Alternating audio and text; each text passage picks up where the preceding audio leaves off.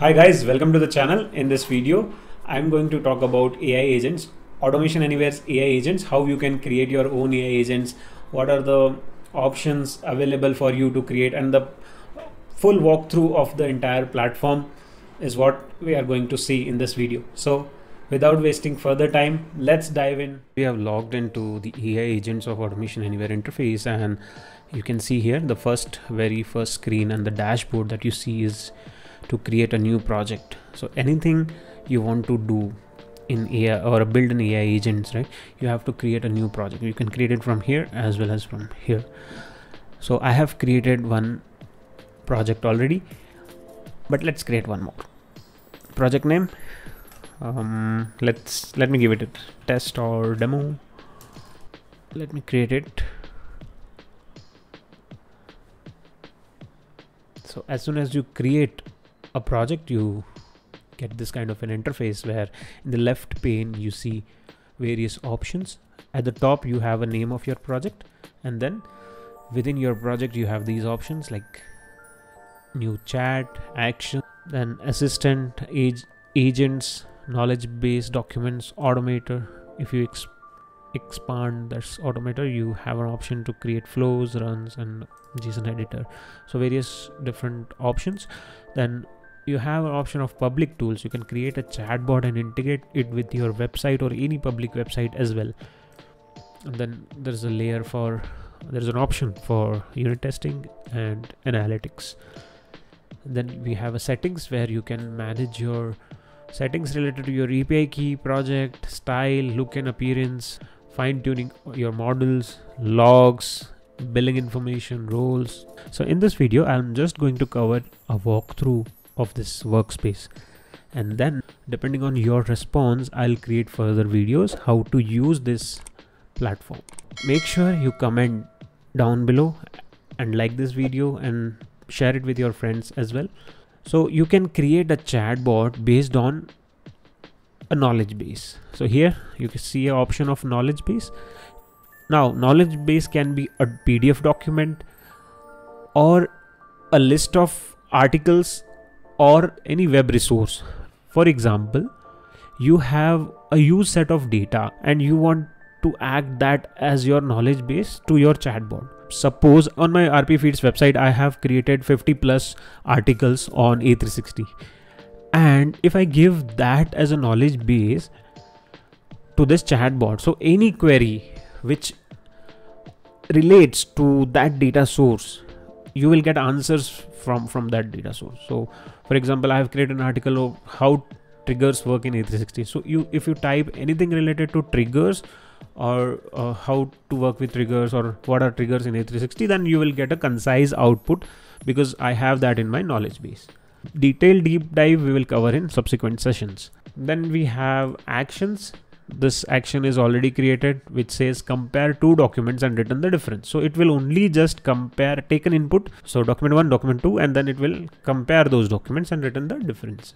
So similarly you can build small small modules or actions what we call here and utilize them in your either in your chatbot or in your public available chatbot. So there are ways to integrate your actions uh, in different ways then we have assistant. Assistant again is a is like in chat gpt you have small small assistants. For example this is ai email. These these uh, options which you see here are the default templates.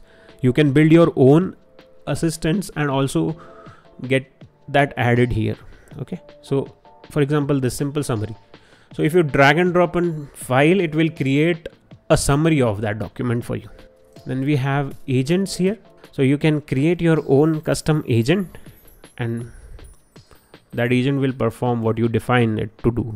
For example here there's an ai google search agent. What is what does it do? It is a default agent again as a, as a default template. Or templates are already available in the platform. Just to know how they work and how they have configured. If you create your own customization then that will be available here and it can be replaced. You can make it as a default agent and tag it to your chatbot. Then we have a knowledge base. Knowledge base in knowledge base you can as i was saying right um, if i have an article on any of the website you can crawl that website. It will the, your website gather all the information that you want it to and that will act as a knowledge base for your chatbot or your agent. You can add documents also pdf documents uh, there are type of documents available. So you can add these type of documents into your knowledge base. Also you can create a document based on like if you want to you want to write it and create it at the moment something some some resources you want to feed into your agent and that does not exist and you want to create it. So you can create it here as well. When it comes to document here they have given a separate section which will list all your newly created documents. Then coming to automator here you can design your flows. So you can create your new flow or use a template or from scratch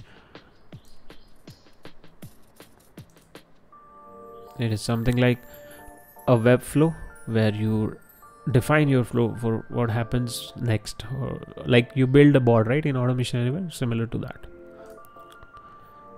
Then here it shows you the run. Basically all your flow that you have ran multiple times so it will list here.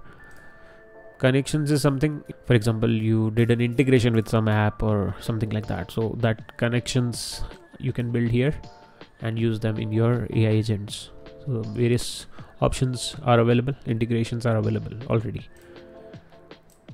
Json editor is something like you create a new json file and store it here as a it can act as a again a data source. Coming to public tools as i was saying earlier you can create a chatbot and integrate it on your website and it and connect it to your knowledge base. So it will respond to the user query based on the knowledge base it has.